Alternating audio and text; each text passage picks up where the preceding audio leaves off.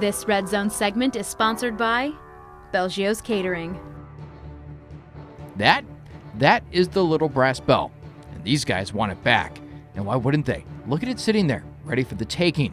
And who gets it? It's a matter of who wins. Wheaton, they won it last year on their home turf after a bizarre 48 hour game.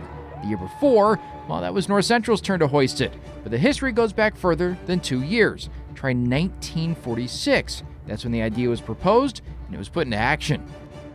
Since that moment, there's been 67 battles for the Little Brass Bell. Wheaton has won 46 of them. Recent history, though, favors the Cardinals, six victories in the last decade.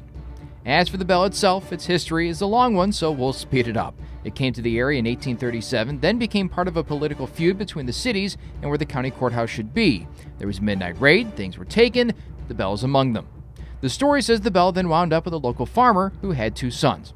One son went to North Central, the other, Wheaton. Not surprisingly, college kids did what college kids do, and another series of midnight raids to recapture the bell had it bouncing back and forth between the two college campuses for years, and then it disappeared. It reappeared in 1940, became the prized possession once more in 1946, and we can now fast forward back to the present. And not only does the winner now get the bell, in the last 12 years, North Central or Wheaton has been champion or co champion of the conference each year. So, yeah, it's a big deal. Question is, who wants it more in 2018?